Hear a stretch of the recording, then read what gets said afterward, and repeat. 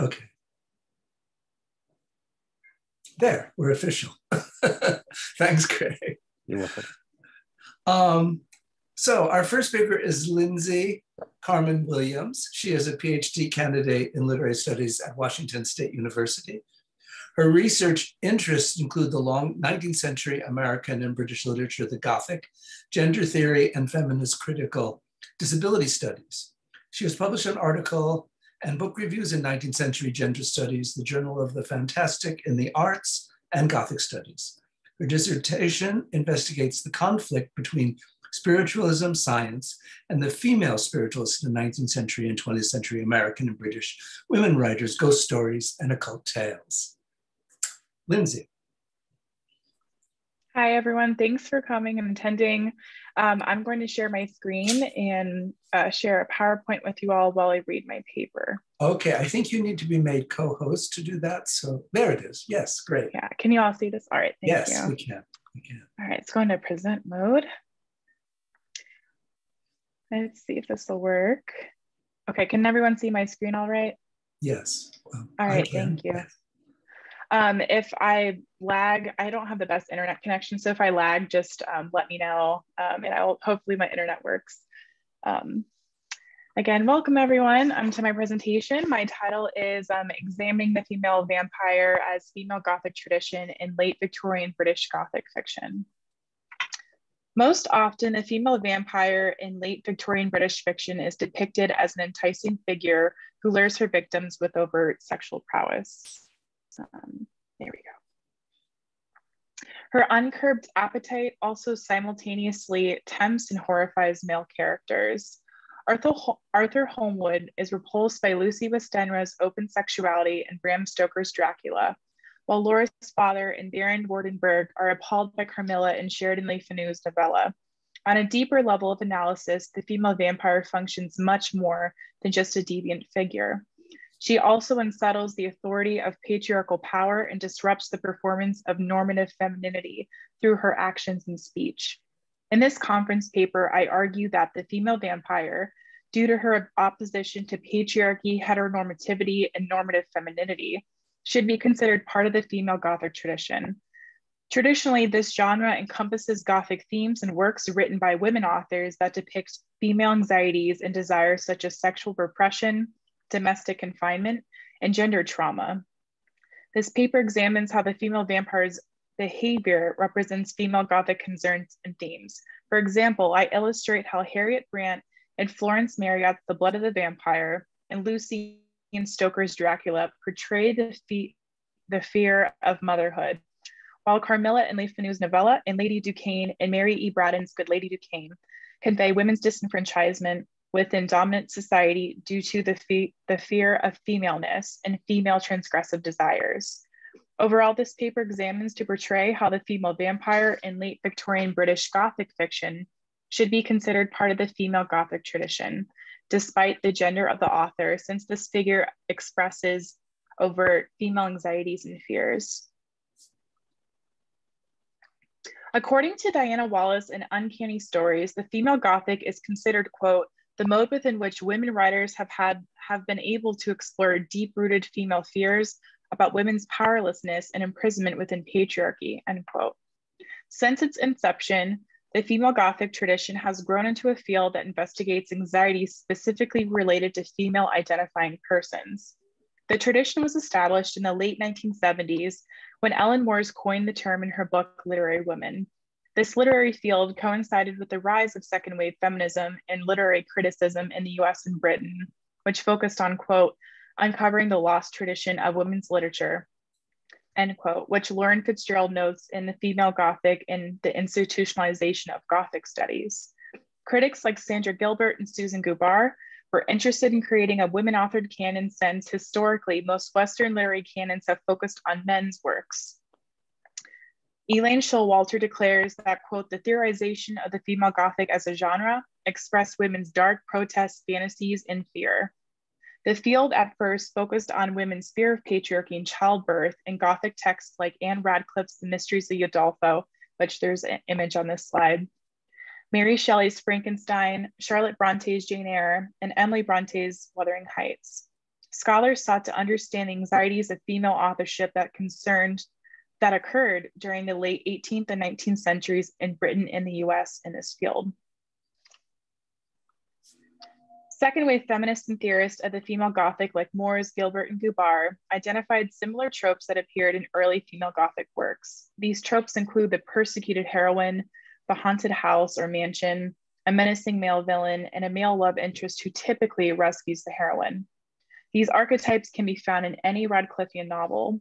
However, as feminist and gender theory has developed within the past few decades, Scholars like Ellen Ledoux have challenged the negative portrayal of women as passive victims in early female Gothic works. Anne Williams in Art of Darkness views the female Gothic as subversive in its portrayal of women's resistance against patriarchal power and oppression, whereas Diane Long Hoeveler in Gothic feminism views the female Gothic as promoting victim feminism. Hoeveler defines victim feminism as, quote, an ideology of female power through pretended and staged weakness, end quote. In other words, heroines in early female Gothic novels who attempt to escape evil male oppressors only challenge individual patriarchal authority, but remain complicit within the system itself. Female Gothic scholars during the 1990s and the early 2000s began to find this problematic as female protagonists failed to critique the institution of patriarchy in women's late 18th century Gothic novels. Unlike the persecuted heroine who appears in early female Gothic texts, I argue that the female vampire embraces transgressive behavior to destabilize the notions of identity and gender. So, as um, time progressed and works were um, created by um, authors in the 19th and 20th centuries, this new figure emerges, which is the female vampire. The female vampire, unlike her male counterpart in similar late Victorian Gothic fiction, evokes the cultural fear of female sexuality and uncontrollable desire. This figure also poses as a threat to patriarchy by undermining male supremacy and control. One of the most interesting aspects of the female vampire is her use of the body. In the female Gothic body, Marie Mulvey Roberts notes that historically, quote, women have been identified primarily through the body, which throughout history has been associated with monstrosity, this representation persists within the Gothic in various forms, from the Gorgon to the vampire, end quote. On one hand, the depiction of the female vampire as a monstrous body illustrates the fear of femininity in women in general. Mulvey Roberts further argues that, quote, since the earliest days of humanity, negative stereotypes of women have been culturally absorbed, evolving into a widespread cultural misogyny in most societies. These have been reflected within Gothic lit literature, which has sometimes critiqued or even reinforced this distorted view of the feminine through representations of female monstrosity, feminine evil, or enhanced passivity. However, on the other hand, the female vampire's monstrous body has the potential to portray the double bind that women endure in Western culture. As Mulvey Roberts writes, quote, the female Gothic body has developed through the Madonna whore duality, incarceration, fragmentation, hybridity, and sexuality, while femininity itself has been demonized in Gothic literature by the way of the femme fatale, man-made monster, vampire, and Medusa, end quote. In other words, the female vampire represents women as familiar and other, as an object of sexual desire and surplus of sexual desire. I'm interested in exploring the female vampire in late Victorian British fiction as a figure that destabilizes the notions of gender performance and identity. Gina Wisker in Female Vampirism contends that, quote, disruptive and troublesome female vampires are an embodied oxymoron, a thrilling contradiction, fundamentally problematizing received notions of women's passivity, nurturing, and social conformity. Female vampires destabilize such comfortable, culturally inflected investments and complacencies and reveal them as aspects of constructed gender identity resulting from social and cultural hierarchies, end quote. The female vampire state of in-betweenness allows her to challenge and subvert notions of ideal Victorian femininity. Traditionally, authors of the female Gothic tradition um, typically explored female-related fears such as domestic abuse, confinement to the domestic sphere, and the portrayal of domestic roles like wife and mother. The following section in this paper provides examples from Stoker's Dracula, Marryat's the, the Blood of the Vampire, Braddon's Good Lady Ducayne, and Le Fanu's Carmilla, to illustrate how these late 19th century British texts depict female Gothic concerns such as anxiety of motherhood and female transgressive desires. Um, overall, each depiction of the female vampire highlights dominant society's horror of femaleness and its urge to destroy the female vampire. Stoker's Dracula and Marryat's The Blood of the Vampire not only depicts the anxiety of motherhood, but also disrupts the essentialist assumption that all women fulfill or should fulfill the role of mother. In these vampiric texts, Lucy and Harriet depict the anti-mother, a female figure who harms children rather than serves as a nurturing, protective mother. The anti-mother, of course, juxtaposes the widely accepted and supported Victorian notion of the angel in the house, an ideal that women are nurturing caretakers in the domestic sphere. At the beginning of Dracula, Lucy Westenra's actions and behavior resembles the new woman, a real-life female figure who expressed sexual desire and autonomy. She contrasts with Mina Harker, a female character who represents traditional Victorian feminine behavior in Stoker's novel. At the beginning of Dracula, Lucy expresses her anxiety of fulfilling the traditional role of wife. While distraught from declining multiple proposals, she rhetorically asks Mina, quote, why can't they let a girl marry three men or as many as want her and save all the trouble? But this is heresy and I must not say it, end quote. Lucy's diction demonstrates her anxiety of choosing not only one man, of choosing only one man to be with the rest of her life. Lucy's transgressive behavior is heightened after she transforms into a vampire. Not only does she portray the anxiety of marriage, but also motherhood. In a newspaper clipping from the Westminster Gazette, Vampire Lucy is re referred to as the Bloofer Lady. She allegedly leaves, quote, the same tiny wound, wound in the throat, end quote, on many children after draining their blood. Lucy's vampiric behavior transforms her into a figure um, of the anti-mother. Instead of protecting and providing care for children, Lucy instead causes them to be, quote, quite emaciated, end quote. As a transgressive creature, Vampire Lucy expresses her anxiety of motherhood through the act of feeding on children. Lucy is destroyed by men of science such as Professor Van Helsing and Dr. Seward, since she is considered a harmful figure in society. With the phallic symbol of the stake, Vampire Lucy is stabbed to death in order to inhibit her from continuing to embody the anti-mother. Harriet Brandt in Marryat's The Blood of the Vampire portrays the role of the anti-mother as well. Interestingly, Marryat's novel was published the same year as Dracula, but this text has received little attention in scholarship. Harriet is a different type of female vampire from Lucy, Carmilla, and even Lady Ducayne. She's a mixed race psychic vampire that absorbs energy from those around her. Harriet first portrays her energy sucking behavior after arriving um, in Belgium. Her first victim is the infant of her friend, Margaret Poland. While being held and cared for by Harriet, the baby, quote, had its big eyes fixed upon Miss Brandt's face with a half-awed, half-interested expression, end quote. The baby's energy is slowly siphoned away by Harriet, who is unaware of her psychic vampiric abilities. Eventually, the baby dies, making Margaret distraught. And like Lucy, Harriet embodies the anti-mother. Instead of nurturing the baby, Harriet feeds off of its energy. The anxiety of motherhood runs deep in Marryat's novel. Later in the text, Harriet discovers that her grandmother was bitten by a vampiric bat and passed on the vampire gene to her female descendants. Dr. Phillips, an acquaintance of, of Harriet's father, contends that Harriet, quote, possesses the fatal attributes of the vampire that affected her mother's birth, that endued her with a thirst for blood, which characterized her life, that will make Harriet draw upon the health and strength of all whom she may intimately be associated with, end quote. Not only does Harriet's vampiricism depict fear of the maternal, but also fear of racial otherness. Doubly marginalized in Victorian society, Harriet is seen as a monstrous other who is cast out and eventually commits suicide. Apart from the anxiety of motherhood, another female Gothic theme appears in Braddon's Good Lady Ducayne and Le Fanu's Carmilla, female transgressive desires. This theme is explored through the figure of the female vampire and her surplus of femaleness and overt desire. Lady Adeline Ducayne in Braddon's vampiric story illustrates society's anxiety of female transgression. Um, in the horror tale, Bella Rolleston, a young poor woman, accepts a job as the companion of Lady Ducayne, who lives in Italy. While working for the rich woman, Bella becomes mysteriously ill.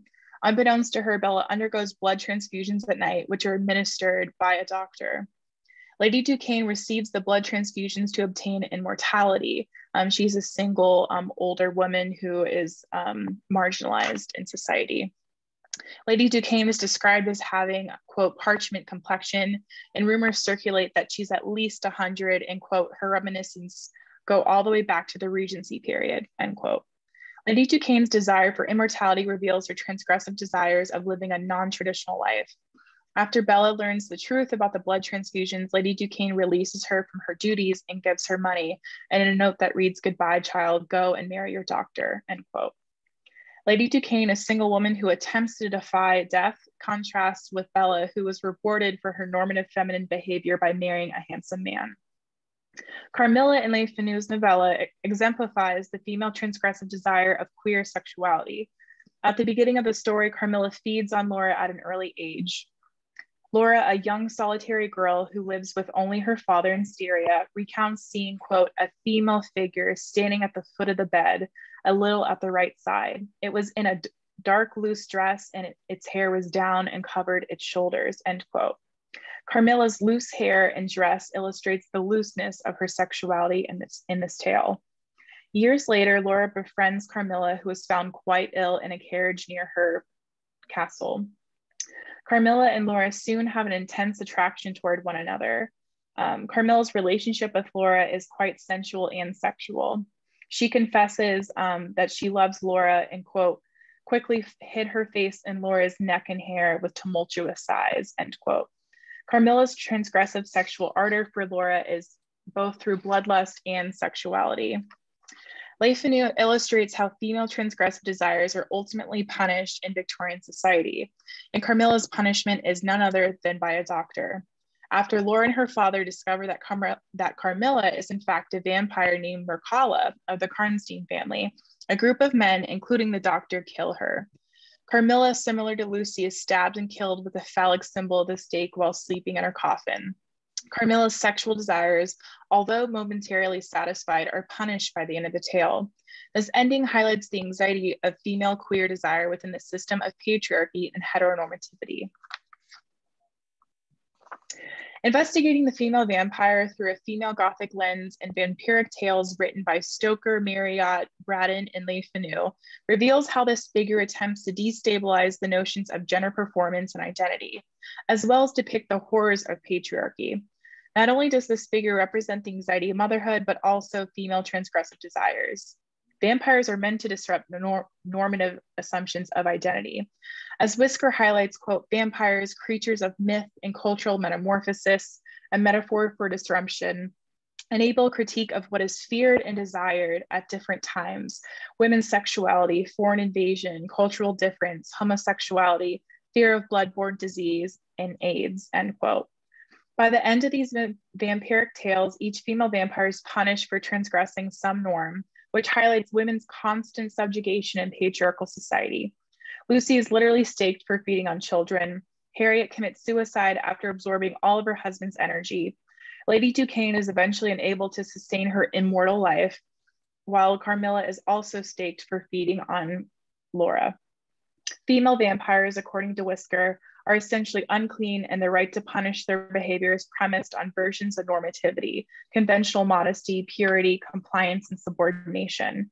In early female vampire narratives, punishment comes from the forces of order, the right of men to define them as sick, hysterical, wrong, to be managed, constrained, locked up, and destroyed, end quote focusing on how the female vampire contests patriarchal authority and power through a female Gothic lens, reveals how this figure expresses women's frustration with, rebellion against, and ultimately their demise within the system of patriarchy.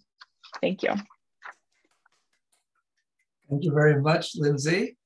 Uh, we'll save questions to the end. Our next speaker is Alejandra uh, Marquez, She's a first year PhD student at the University of California, Riverside.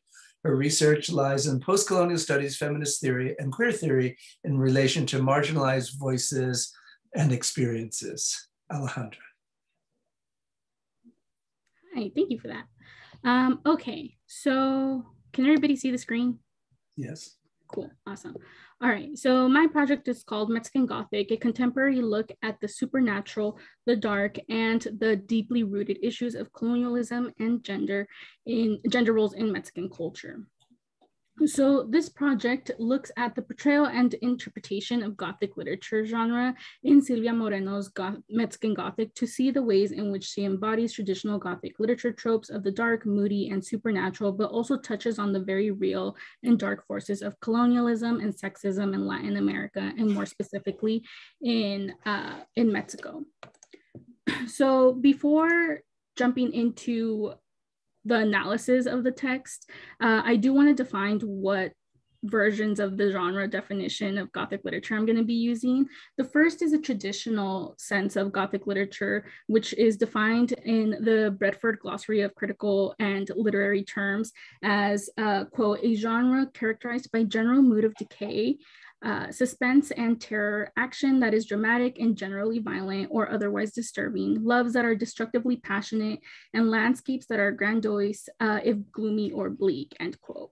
Uh, examples of this are Frankenstein, Wuthering Heights, The Yellow Wallpaper, all very popular within, within the genre. Uh, a more contemporary approach to what is Gothic literature genre is uh, one that scholars such as Andrew Smith call a new wave of Gothic literature, aptly uh, labeled as post-colonial Gothic literature, uh, which is a modern or postmodern way to view the current Gothic literature and media. Uh, Smith states that this uh, that this shift to a post-colonial Gothic approach relates to current issues, uh, current interest in post-colonial ideas, which have helped to widen the geographical understanding of what is meant by Gothic. End quote. Uh, and he often references Glennis Byron uh, when identifying a new global Gothic uh, model, which is, quote, the understanding of which enables a consideration of how Gothic has been absorbed, challenged, and locally developed outside of the Anglo-American tradition, end quote. Uh, so when we kind of move into the way that Gothic tropes are presented in Silvia Moreno's Mexican Gothic, we are given a very straightforward type of way that the traditional Gothic tropes present themselves. We have the moody uh, sort of setting, the creepy house, the very um, ominous people that live in the house, plus all these issues and the supernatural that come up. When describing the house, the main character Noemi states the following Quote, Noemi stepped inside the house, uh, stepped inside the bedroom and regarded the ancient four-poster bed, which looked like something out of a Gothic tale. Even had curtains you could close around it, cocooning yourself from the world. Moreno, end quote. Moreno Garcia situates Noemi as a capable upper class and educated woman in 1950s Mexico who is well versed in the fine arts, giving her the credibility to continuously make the uncanny connections between her reality at High Place and the often supernatural settings in the Gothical tales she references. These are just a few ways that Moreno Garcia incorporates traditional Gothic tropes into the novel, uh, but it's only upon closer examination and through what Smith proposes as a post-colonial Gothic analysis that we see the novel provides a deeper understanding of colonial influence and its residual hauntings in Latin America and more specifically in Mexico. So looking at the undertone of colonial presence and tensions in the text, uh, when we rework the traditional notion of Gothic literature genre and apply the post-colonial theoretical framework to the contextualization of the genre, and by extension to the novel, we are met with a deeper understanding of the deeply rooted trauma of the colonial influence in Latin America. Moreno Garcia situates the main character, Noemi, a Mexican socialite, as the heroine of the story sent to redo recon and if need be, extract her cousin from high High Place, home of the Doyles, who are generational English settlers and miners, uh, and rather opts to uh, rather opts out for of the troubled love story between a moody hero hero and the devoted heroine for uh, and pulls the readers in to see how Noemi must, in essence, fight the deeply rooted colonial ideologies that remain preserved in within Mexico and are embodied by the Doyles and their house in order to free herself and those she cares for. We see this in the disturbing and reoccurring conversations revolving around race, aesthetics, and eugenics among the residents of High Place. It is also important to note the role that the supernatural plays in bringing to life these colonial tensions, as well as gender issues, which I go into later on. The quote that the quotes that follow uh, are examples in, of these colonial tensions and influences that are constantly seen through the novel.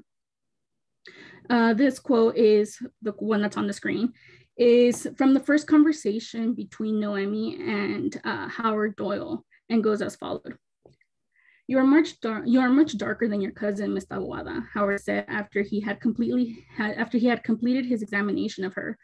Pardon me, she asked, thinking she'd heard him wrong. He pointed at her. Both your coloration and your hair, they are much darker than Catalina's. I imagine they reflect your Indian heritage rather than the French. You do have some Indian in you, no? Like most of the mestizos here do. Catalina's mother was from France. My father is from Veracruz and my mother from Oaxaca. We are Mazatec on her side. What is your point? She asked flatly. Merely an observation. Now tell me, Ms. Taboada, do you believe, as Mr. Vasconcelos does, that it is the obligation, no, the destiny of the people of Mexico to forge a new race that encompasses all races, a cosmic race, a bronze race, this despite the research of Davenport and Steggerda, end quote.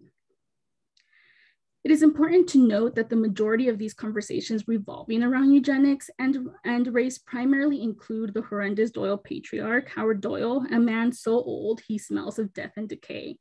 Howard is obsessed with the topic of eugenics and race purity, all in the effort to preserve the bloodlines. However, it is only when we learn why he is so insistent in preserving the bloodline that the true horror sets in from the realization of the extent of which the Doyles have gone to protect what can otherwise be described as their colonial superiority. Noemi's constant back and forth in response to Howard's insistence on race superiority and his obsession with aesthetics is a subtle response uh, packed with notions of larger commentary about the constant need for Mexicans and Latin Americans to constantly prove their worth to European and North American white folk. This conversation takes place earlier in the book and sets the tone for the rest of the novel, informing the reader that one of the dark forces that the heroine will need to battle is passive racism sustained by the Doyles and High Place. While Moreno Garcia employs the traits of Smith, uh, of what Smith calls post-colonial Gothic literature, she further complicates the new genre by adding to it a feminist lens and complicating the character growth of Noemi in relation to her position as heroine and her identity as a Mexican woman. So gender in Mexican Gothic. By situating the colonial tensions early in the novel, Moreno Garcia introduces one of the main limitations working against Noemi's mission to rescue her cousin, Catalina, who after marrying Virgil Doyle, son of Howard Doyle, becomes distressed and calls for her cousin to help her escape from the house. Up until this point, the reader is aware of how High Place, along with the Doyles, preserve colonial ideologies and white superiority. Yet, in this mission to rescue her cousin, uh, Noemi comes face to face with another evil force, sexism.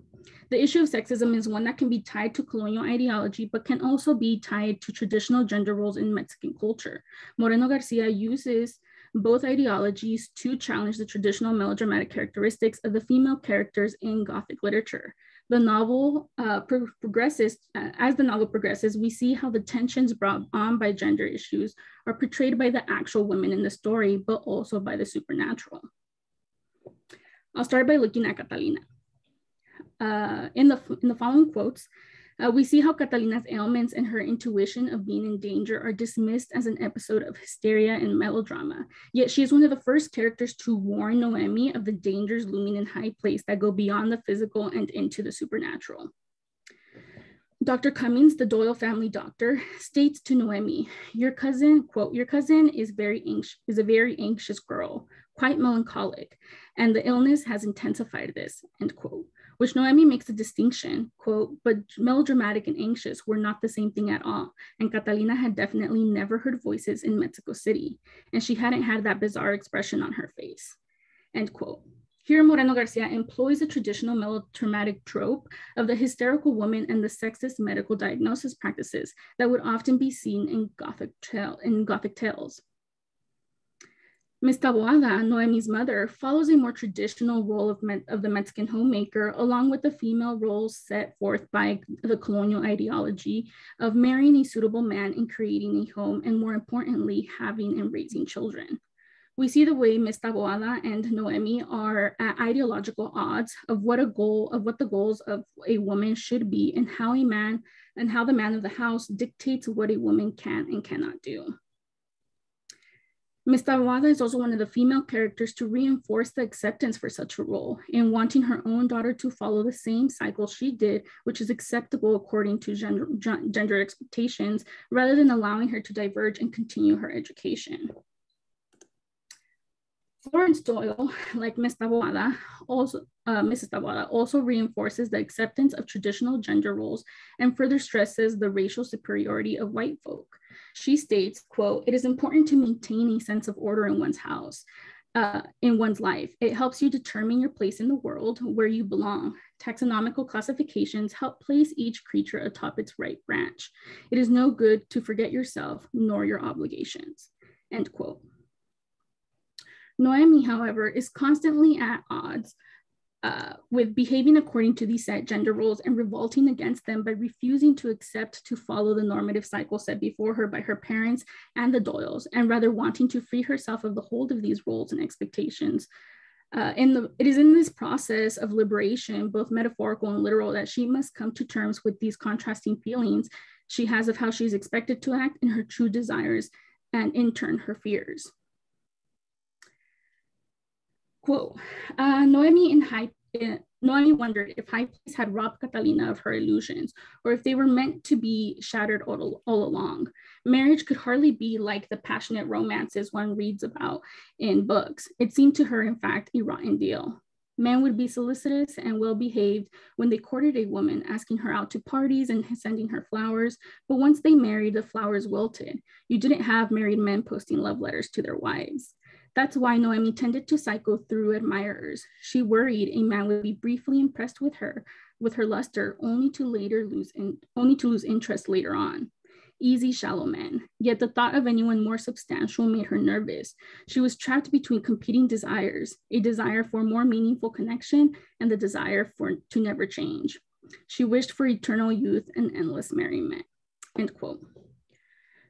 Noemi's journey to liberation is what creates a threshold between the ideological and the supernatural. While she aims not to live by the standards and expectations set before her, she also harvests the anxieties of being left out and, be, and of being alone.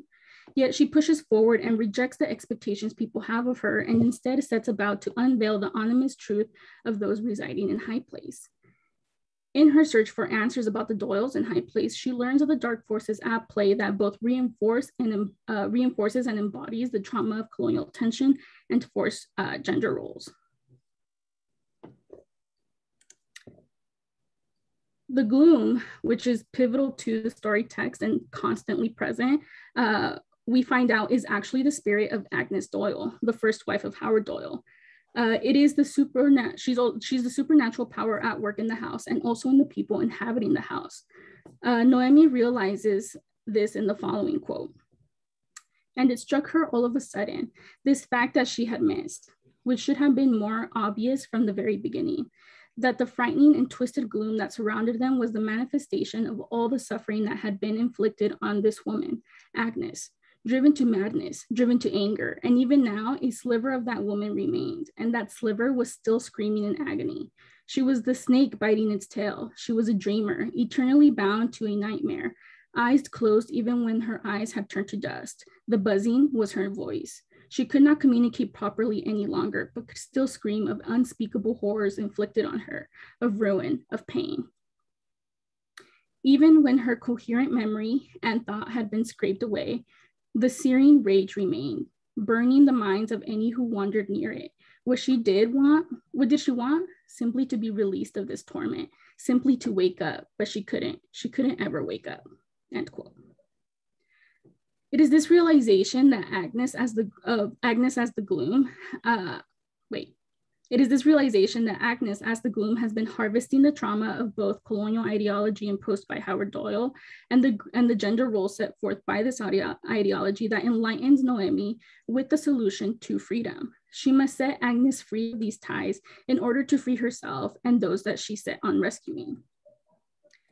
It is only then that they can truly leave High Place and the colonial and sexist ideologies that are embodied within it While we see Noemi manage to escape and rescue those she cares about, Moreno Garcia leaves us with the unsettling and very real lingering feeling that no matter what Noemi does, she will always be haunted by High Place and all it stood for, and by extension, that we, the reader, will also continue to be haunted by these notions. Thank you. Very good. Thank you very much, Alejandra. our next speaker, and I think it's perhaps our last speaker, is Christopher Kroll, who's a PhD candidate in English at the University of California, Riverside. He graduated from the University of Bergen in 2017 with an MA in English literature on masculinity and intersex identities in Mary Shelley's Frankenstein and Iain Banks, Banks' The Wasp Factory. His current work looks at how social psychological, philosophical semiotics and architecture can help understand Gothic place and space as inversion of the classic promises of shelters. Christopher.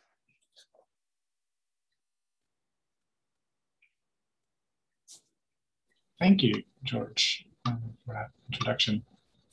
Uh, can you all see my presentation? Yes. Great. Uh, like Lindsay, my internet is also not the best. It's kind of in and out all day, but hopefully it'll, it'll get us uh, through this. So I am conducting an interrogation into the chase as a narrative device for exploring the relationship between place, space, and character. The key theoretical lens will be the theory of affordances, which is a concept initially developed in psychology to describe animal-environment relations. My interrogation starts by looking at the central opening chase in Horace Walpole's The Castle of Otranto, before looking at another seminal chase 200 years later in John Carpenter's Halloween and Joseph Zito's Friday the 13th, the final chapter. My hope is to bridge these texts through an understanding of the archetypal Gothic as deeply rooted in a sense of place centered around exploration and panic. Now, the theory of affordances uh, was first developed by psychologist James Gibson in 1977 to map living creatures' realization of their environment. Affordances are any potential uses that lie embedded in the animal's surrounding. The discovery of affordances is often automatic and lies inherent in the animal's capabilities of surveying surrounding geography. Gibson saw the relationship between animal and environment as complementary, meaning that they were on equal footing when creating the affordances involved. However, the relationship is not equal because the animal is dependent on its environment, whereas the environment is not dependent on the animal. The animal is then at the best of the possibilities that are at any moment present within the surrounding topography. Now, applications of this to human environments and the chase, we need to first look at Donald Norman's application of the theory of affordances to design objects and environments. This application to design allowed Norman to think about what may constitute good design, which to Norman is when the user can instantaneously ascertain how to utilize an object or space. However, sometimes the designs may be counterintuitive to the expectations that the user has for the object or environment. A door with door handles will, for instance, be assumed to need to be pulled to open. And if the door needs to be pushed, there will be a moment of confusion. In such ways, poor design may negatively influence and disorient the very people it is meant to serve. Literary critic Carolyn Levine has used affordances to think about form in literary studies in a continuation of Norman and Gibson's work. Levine broadens the terminology of form and affordances to also think about social arrangements, particularly hierarchies. To Levine, social spaces offer affordances in connection with the places they take place in. It is also possible to transplant designs to new environments, bringing the affordances with them to the new space that they may form. Now, in my extrapolation of the term for this, my dissertation work, I argued that a designed environment, such as architecture, adds a third, third partner to the equation, the designer or architect, who has, through their creative powers, designed the environment with specific uses in mind. To reside in a designed building is then to be already under the influence of someone else's intentions as their creation dictate to some extent what is and is not possible within the place. In other cases, the subject may find affordances that were not initially thought of by the architect. Social spaces are in large part dependent on the possibilities of the places in which they practice. Individuals, when confronted with a space or a place, must then wrestle with what affordances may be gained from them. The interaction between subject, place, and architecture, architectural intention come together in a Foucauldian process of innate power relations. Since architecture is at the outset a design place meant to facilitate specific spaces, the question ultimately becomes who is the design place for and who may utilize it to their own advantage. In comes the chase. Now, the chase plays with this question as it puts two independent actors up against one another while embedded in a specific environment. The chase is central in Gothic fiction, where the pursuit of a person, most often a young woman, by a pursuer, most often an older man, has been characterized by literary scholar Donna Heiland as Gothic in its purest form. Previous work on the chase has been done by scholars such as Noel Carroll, who summarizes that chases become suspenseful just in case the outcomes of these events are such that two logically opposed conclusions are in the forefront of the spectator's attention, and moreover, moreover in such a way that the likely outcome is patently evil, while the moral outcome becomes, appears to be a long shot. As a narrative device, the chase thoroughly ties characters to the place within which they exist. I am focusing on chases that occur in limited interior spaces over a smaller time frame, with usually one pursuer and one victim. This is to distinguish it from other uh, works of fiction, which might utilize chases over a longer period. The reasoning is that during this configuration, the trio of pursuer, victim, and environment are in their closest and most immediate relation to one another. The chase most often, during the chase, the villain is most often close behind the hero, sometimes measured in feet, and the hero must do their best to recontextualize the affordances the place may offer to the advantage of the villain. The chase is at its most dispensable when the immediate objective is clearly presented. If the hero is caught, they will either die or be forced into actions they do not want. The challenge is equally immediate. The hero needs to overcome the reshaping of the space done by the villain to their own benefit. The Gothic chase is in this way one of the purest forms of architectural exploration because it happens immediately through the chase. By this I mean that through the storytelling device, the affordances and limitations of the space are made clear to both protagonist and reader as the chase unfolds. So in the Castle of Otranto, Isabella discovers Manfred's plot to marry her against her wishes to produce a male heir. The reveal of him as a powerful patriarch set upon continuing his male line is not in and of itself surprising. What is, is that he is willing to utilize the potential of Otranto as highly defensible keep and prison to keep her there. Consequently, Isabella's flight through the castle recontextualizes it as a prison meant to keep her there. The gates are closed, the servants are looking for her. She is imprisoned by that which had previously kept her safe. However, she is able to find affordances there of her own as she, quote, recollected a subterraneous passage which led from the walls of the castle to the church of St. Nicholas. If she reached the altar before she was overtaken, she knew even Manfred's violence would not dare profane the sacredness of the place. Isabella is able to seek out a place wherein she can use cultural and religious affordances to overcome Manfred. In a more immediate present, she can recontextualize the foundations of the castle as being in her favor as well, since she can escape through the subterraneous caverns. The chase frames the castle of Otranto as Manfred's domain and provides him an identification between state and familial power, as he may use the potentials inherent in the castle to imprison Isabella for his nefarious plot. However, Isabella may also utilize the space into escaping, as the castle is built upon a hollow foundation, thus showing that Manfred's rule and control of the space is by no means absolute, as he can provide affordances for her as well. Her flight likewise becomes a map of the castle as well as a mind, the reader comes to understand that the castle is centered around the central staircase, which Isabella is fleeing uh, down, and is built upon hollow ground. As Manfred's actions become increasingly transgressive through the novel, so does his castle begin to change and crumble around him. There is simply not room for the affordances that he seeks, and each of his fits in rage and desire brings his line closer to ruination. In archetypical early Gothic texts, such as the Castle of Otranto, or the Mistress of Udolpho, the villain is able to weaponize the potential of the castle as a space which both provides affordances for protection, it is after all highly defensible, and as a prison. The young heroine must then seek to utilize the space in her favor. Now, from the castles of medieval Italy to the modern suburbs of the United States, the chase continues as a central part of the Gothic. Laurie Strode's flight from Michael Myers in Halloween, or the many final girls of the Friday the 13th series, occur through houses staged with the corpses of their friends.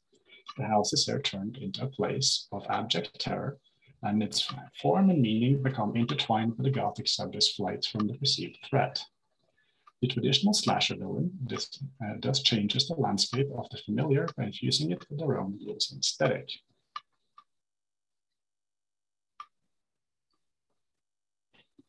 For instance, Michael Myers reconfigures the suburban home into an altar to the dead, to dead youth and femininity.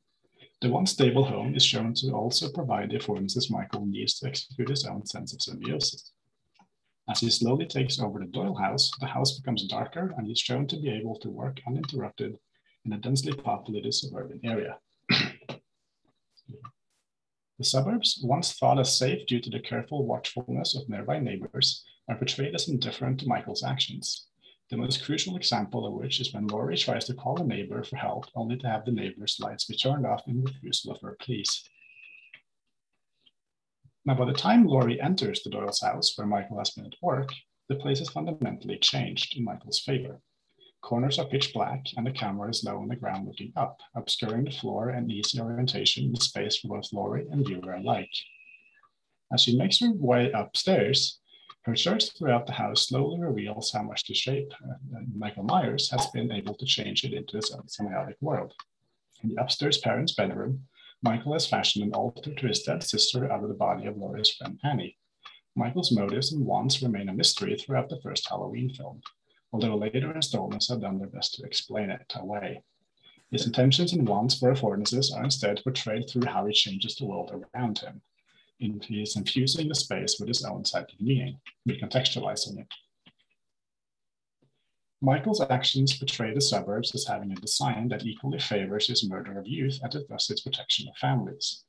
The suburban home equally favors him as he finds the affordance to appear out of the darkness behind Laurie, cementing that this is his domain as much as hers.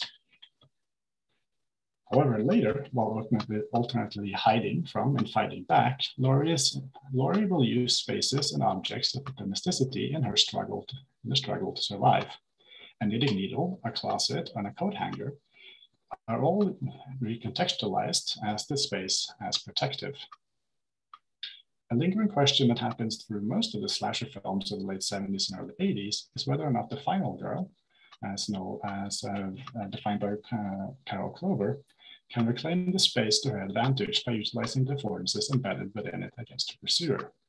The answer is oftentimes yes, as seen in films like Halloween or Nightmare on Elm Street, but it can also sometimes be a no, as happens in Friday the 13th, the final chapter, where a girl is pursued under similar circumstances to a final girl, but fails to utilize the space in her favor. Now, to set this up, the film sets up two potential final girls, uh, in two different houses on Crystal Lake. You have Sarah, Sarah played by Barbara Howard, and Trish Jarvis, played by Kimberly Beck. These are both presented with similar challenges, which they have been handled very differently. They both uh, embed qualities that are stereotypically associated with final girls. Sarah is the first one that is tested. She discovers a, a body and brutally murder in a shower and she constantly flees down the stairs into the front door. She is unable to open the door, but stays there while trying to spring it open. The space, however, cannot grant her the affordances that she has come to expect, that the door will open and she, she may escape. And she is struck, um, she is struck through the door by an axe, which embeds in her chest. Later, Trish is put through a similar scenario. She discovers the same body in the bathroom and runs downstairs to warn her companion, Rob, Jason Voorhees comes out and kills Rob while Trish flees. Trish then tries to open the same door that Sarah is trying to open, but, in, in but there she finds a body. Uh, she tries for another door, and another body is displayed there as well, blocking her escape. She does, however, not linger as Sarah did, but instead moves on to the next possible way of escape. She is finally able to smash her way through a window with Jason in pursuit. Trish thus emerges as the final girl of the film because she's able to reshape the space into her favor. She continues to be able to weaponize the space against Jason by throwing various forms of decor at or over him throughout the chase.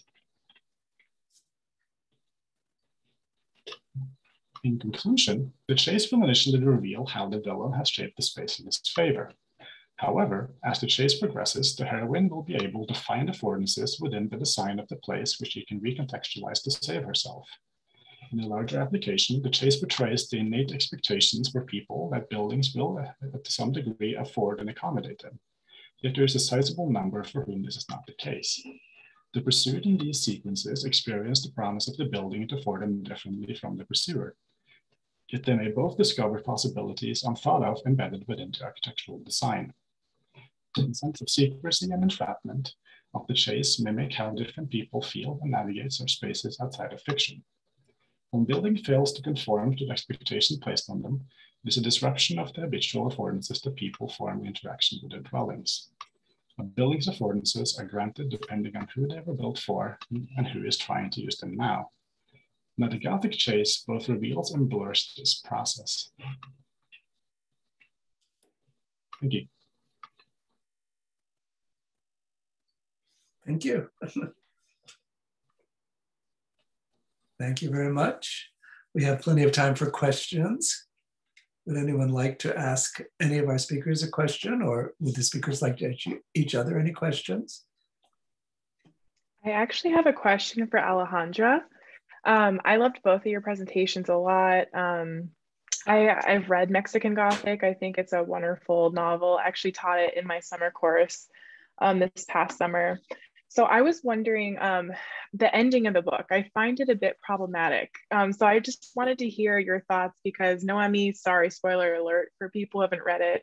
Um, Noemi um, ends up with Francis, and Francis, of course, is a descendant and part of the Doyle family. So I wanted to hear your thoughts and why do you think Moreno Garcia chose this ending of Noemi kind of fulfilling a gender role of, um, you know, having like a happy ending with, um, you know, this of course francis is good but he's still connected to um, the doyle family. I just want to hear your thoughts. Yeah um so i purposely left out like the love interest and the weird love triangle that happens in the novel because it's so complicated.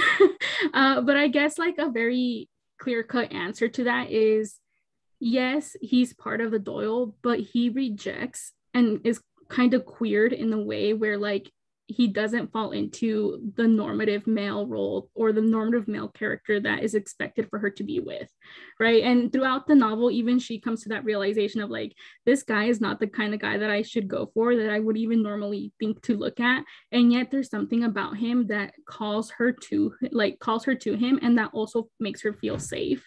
And i think it's that notion of like the queering and the safety that she feels that makes that relationship significant but it still has its complications right? There's still its implications of him being related to this long line of like horrendous colonial uh, settlers and what that means for her as a mexican woman. Uh, and i think that that's why uh, or at least I, I like to speculate that that's why moreno garcia like left in that that like opportunity to continue to see that relationship grow. Because uh, who knows like maybe in the epilogue or in the second part of the of a novel of the novel we see the way that the relationship is affected by these you know um complications and see how that kind of carries forward but it is it's a complicated relationship and it and it stirs up complicated feelings but um i think at the end it's that's why because he's he's so different and in this very weird sense uh very queer version of what is the the gothic male figure thank you yeah that that helps me like rethink and kind of reprocess um that uh, lindsay i wanted to ask you about uh female villains that aren't vampires. Um, uh, and if they fall into the same category like Victoria in uh, Dacre's novel Zofloya, or other, other women that are transgressive but aren't quite vampires, do you think they're vampiric? I mean, do they do similar things to what the vampires do? Yeah, absolutely. I actually have never read um, Zofloya, so I need to add that to my list. Um, but yeah, absolutely. I think, um, you know, they're not the female vampire isn't the only you know monstrous um, uh, female character in the gothic of course that subverts um, patriarchal authority and power um, but i just wanted to kind of hone in and focus on the female um, vampire just for purposes of this um, this conference paper. But yeah, there are definitely femme fatales and other monstrous um, female figures that definitely would fall, I, I would argue, under the female um, Gothic tradition. I actually have a question to piggyback off of that uh, for you, Lindsay. Um, I'm wondering because when I was sort of doing the research for this, I, I came across what I'm guessing is a relatively new term of like the post-feminist feminist uh, Gothic literature and uh, how they kind of complicate the way that we see like the melodramatic or or the female character in Gothic literature. And was wondering if you came across that too and how that kind of shifts the way that we view women in Gothic literature, whether they be the villain or the hero. Yeah, I'm not too, I've only researched a little bit of post feminist um, Gothic. Um, and of course, as I addressed in my paper too, the, the term female Gothic is a bit problematic too, just because, um, you know, there have been developments in gender theory of, you know, gender is a construct. Um, so is it essentialist to, you know, just call it women, only women authors can be included in this tradition? So I'm still working through um, that research and kind of rethinking of, you know, uh, do I stay with this category of, of woman, of what is female? Um, and so that's why I've kind of wanted to branch it out to include male authors, so not just uh, women authors. But going back to your point of uh, post feminist Gothic, um, yeah, I, I, think I need to research more into that and see how it would definitely um, kind of problematize um, perhaps my argument and my research. Um, but thank you for bringing that up. Catherine, do you have a question? Yes, let me see if. There you are. Hi. Thank you all for a really wonderful panel. Um, and it, um, Alejandra, I'm kind of jumping off of something you said. It's it's very much an aside, but when you were talking about dispelling the gloom, and I was wondering about the way in which the persistence of the Gothic has to do with us not wanting to dispel the gloom, right? The, And you know, I was thinking all these, I don't know how many of these you've watched. I've only watched some, but like Penny Dreadful did this kind of Marvel universe of Gothic characters. There was, you know, Mina from Dracula and Dorian Gray and all of these sort of bound together to solve the problems of the empire or whatever. Um, and, you know, the final girl, um, um, you know that that's an idea that actually went from scholarship back into the movies right? In scream they're all talking about the final girl. So there seems to be something about this kind of relationship between the criticism of the gothic and the elaboration of it in contemporary culture. Um, and is this I, I, just would love to know what you think um, about this. If that made sense. Yeah um, I think it does. Um, and I think it it kind of comes back to that lingering feeling that we find in the novel of like the the residual haunting. Um, and I actually feel that like what Christoph was talking about of sort of like changing the way that the domestic home space is viewed in, in these films and i think by extension in the genre that is gothic literature is kind of what like is pushing us towards a more contemporary um, analysis of the way that we're sort of viewing like the residual effects of what happens after the gothic story has ended. Uh, like for this novel at the end spoiler alert if you haven't read it um, the house gets burnt down and the fog is no more the gloom is no more. However like there's this notion that there's always going to be a little something left and whether that be like a physical residual or whether that be like an emotional trauma that the characters carry with them, uh, which they actually say out loud, then it's it's still there, it's still present. And I think that that's where like yes, we're dispelling we're dispelling like the quite literal sense of what is the haunting of what is you know the the gothic tropes. However, like the emotional lingering is still there, and that's sort of where we we are moving more into like you know and i think this can be applied both to film and media and also literature like we still carry these things with us they are still very much part of our of our analysis and and moving forward are the way that we start to perceive these spaces. I hope that answers that question. Christopher you might have something to say about that too. Uh, yeah uh, I, I, do find that sort of like interwovenness of sort of literary criticism and sort of like scholarly work with pop culture to be to be very fascinating. Because as you said, like the final girl, like that wasn't really a thing until it really started appearing. I think that goes for slashers really in general. Like in the beginning, they weren't really what they became like uh, stereotypically. They're they're much more experimental and sort of like freeform in the way they approach it. But after a while, it really got cemented as a specific genre. As for this, like the residual of the Gothic in general, Joseph Crawford has a great book where he talks about the biggest legacy of the early Gothic text is really that it allowed this language of terrorism to sort of like seep into the political discourse. And it sort of like talks around like how it imbued just all these different discourses with the language of good and evil. So for instance, he really, really looks at discussions around like the Sepoy rebellion in India in the middle of the 19th century and how that was being portrayed. So like back, back in the British Isles, and it really was this language of like almost these like vampires sort of coming in and sort of like massacring British citizens while also ignoring the atrocities committed by, by British troops naturally. And and he really traces that throughout the 19th century as that maybe being the biggest influence the Gothic has had so like on culture is that it really brought back this almost medieval idea of evil as something that is like lingering out there. Yeah, yeah, yeah. One of my students um, who finished her PhD a few years ago, Laura Westengard, talks about how Gothic tropes are used in trauma theory and so on as a way of explaining psychology um, because they're inescapable. Once you once you introduce Gothic tropes, it's it's an easy way to explain uh, psychological states or even social uprisings, and, you know it's it's amazing how supple Gothic Gothic uh, effects and Gothic techniques, right? Light and dark, or uh, uh, something spooky and mysterious, and, and so on. And you, I think you're you're finding your way into all sorts of 20th uh, century, 21st century uh, ways of thinking about anything. Or if you think about any popular I'm going out of my depth here, but I'll just say popular TV shows or series think about the kinds of Gothic effects that are used everywhere.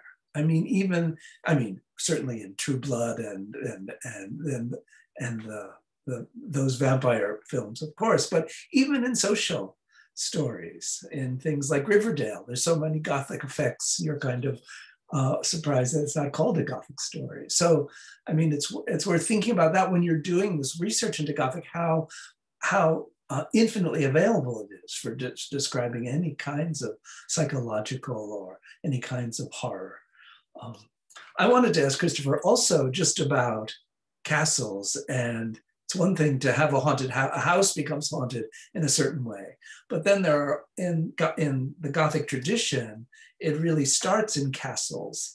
And what is it about a castle that makes it eh, you did a good job of saying explaining how Otranto works. What would you say about Udolpho or some of the other 19th century castles that are, by definition, Gothic castles?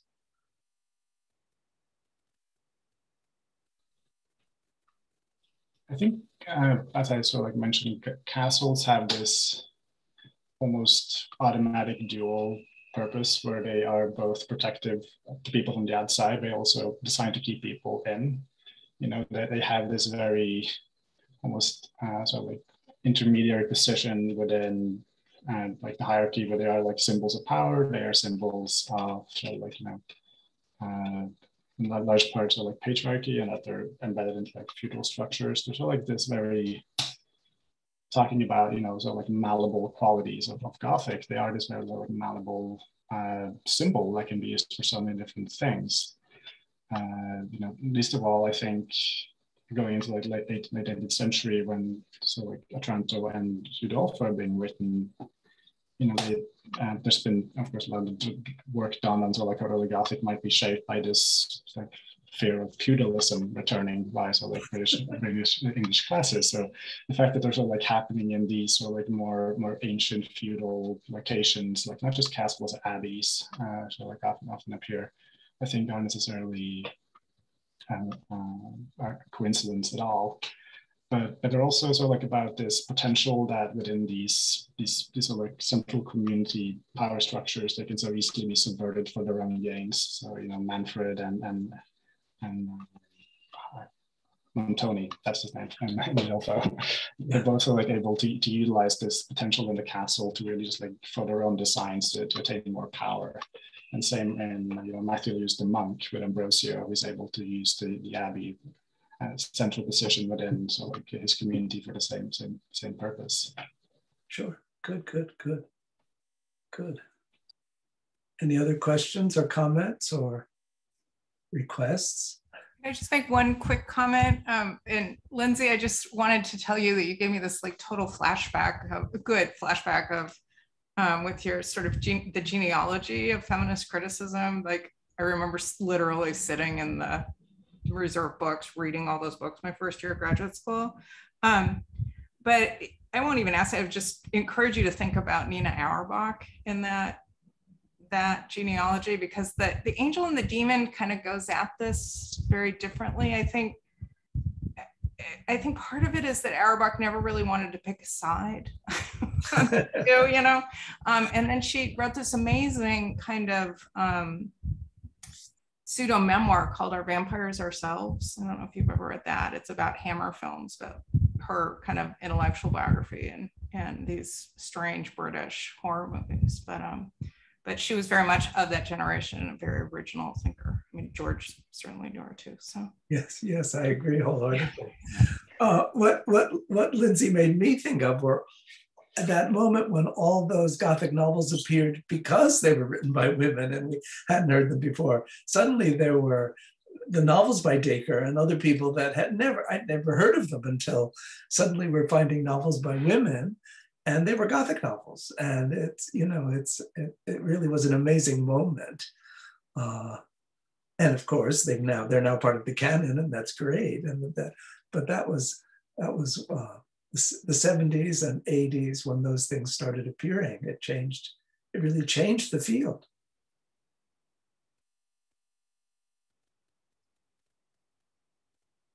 I would just throw in that's true in um, certainly in American literature, but in African American literature too. Some of the great finds were things like Of One Blood, the, these kind of serial novels. There was this big, um, I mean, there, there is a real history of the Black American Gothic to be written that you know goes all the way to Get Out and them. I think. Yeah. Yeah. Um, my next focus, sorry, my next focus would be to like, in, um, you know, move into more contemporary times of looking at Fledgling um, by Octavia Butler, um, White is for Witching, which I know is like mostly it's not a vampire um, fiction, but just kind of moving more into um, exploring like Black Gothic and uh, women of color Gothic as well for my research. Oh, it's a great project. That sounds great. Um, anything else before we go? I want to thank you all for a wonderful panel. I'm so pleased. Uh, I think everything came together beautifully and you all did a wonderful job and now we're recorded for, for posterity. So, um, and I hope I'll see you next year. The, um, PAMLA is going to be at UCLA and uh, I'm going to chair another Gothic panel. So, um, and then I'll pass the torch to someone else who wants to chair a Gothic panel. But thank you all and thank you, Catherine and everyone else who attended. It's been wonderful. And uh, good luck in your work. You have great projects, and maybe I'll see at least Alejandra and Christopher on campus. Goodbye. Thank you very much. I loved your presentations. It was nice meeting everyone. nice meeting everyone. Great. Thanks. Bye, Bye. everyone. Bye.